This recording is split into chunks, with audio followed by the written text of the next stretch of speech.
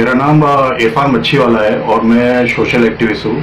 मैं और मेरे फ्रेंड फारूक दाला ने chief minister of Maharashtra Devendra Fadnavis को लेटर लिखे है।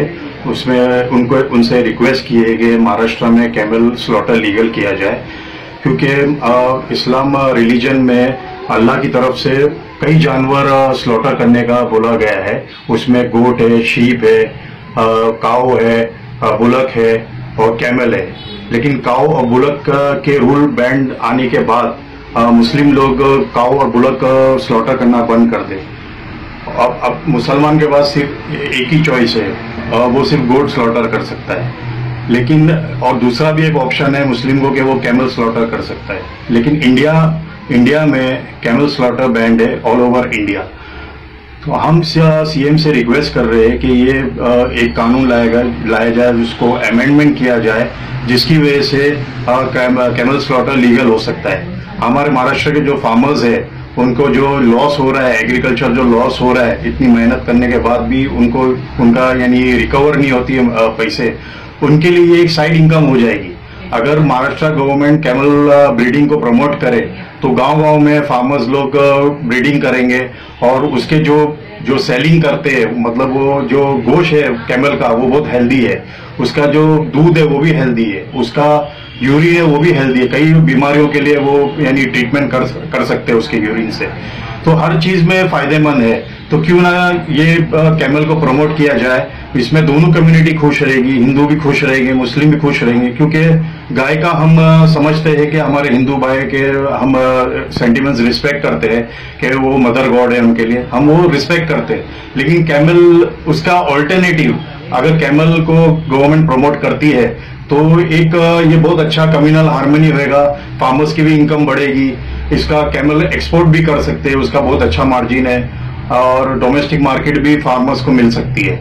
तो ये बहुत फ़ायदेमंद है, इसको प्रमोट करना चाहिए, और कुछ कानून में अमेंडमेंट लाना चाहिए, इसके कई फ़ायदे हैं। थैंक यू वेरी मच मेरा नाम फारूक ढाला है, मैं सोशल एक्टिविटीज़ हूँ, माहिम से।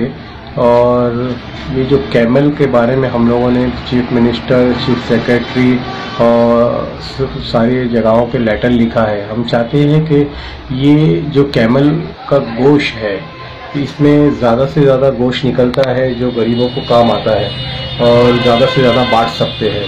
इसके मिल्क से भी कई फ़ायदे हैं और इसका यूरिन है, उससे भी कई फ़ायदे हैं। फार्मर अगर इसकी ब्रीडिंग ज़्यादा करता है तो हम लोग एक्सपोर्ट भी कर सकते हैं। हमारी महाराष्ट्र गवर्नमेंट से रिक्वेस्ट है कि इसके स्वेटर हाउस अच्छे से अच्छे बनाए और अच्छे टेक्नोलॉजी के साथ में इसको प्रमोट करे ताकि यहाँ से जो फाइनेंशियल कंडीशन खराब होती जा रही है, इस बिज़नेस में, उसमें फाइनेंशियल कंडीशन इंडिया की अच्छी हो सकती है और इसमें दोनों कौम का फ़ायदा है।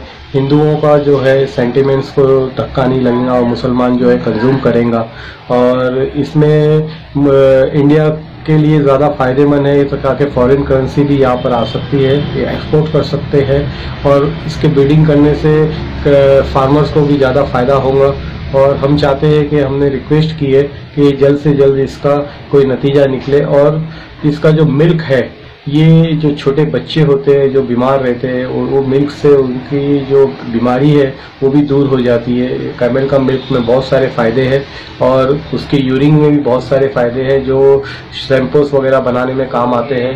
तो हम हम चाहते हैं कि इस चीज़ को महाराष्ट्र गवर्नमेंट गौर करे, और इसको अच्छी तरह से इम्प्लीमेंट करे, ताकि लोगों को बेनिफिट भी हो और कंट्री को बेनिफिट भी हो। थैंक यू कैमल की जो कुर्बानी करेंगे और इसका अगर परमिशन मिल जाएगा तो इसमें जो है गोश्त ज़्यादा निकलता है तो ज़्यादा से ज़्यादा डिस्ट्रीब्यूट कर सकते हैं, जबकि बकरे में गोश्त बहुत कम निकलता है। तो हमारी रिक्वेस्ट है कि कैमल की कुर्बानी को यहाँ पर परमिशन दे दी जाए, ताकि ये मसला हल हो जाए और ज़्यादा से ज़्यादा गरीबों तक ये गोश्त पहुँच सके। वीडियो पसंद आया है तो लाइक करिए, अपने फ्रेंड्स के साथ शेयर करिए।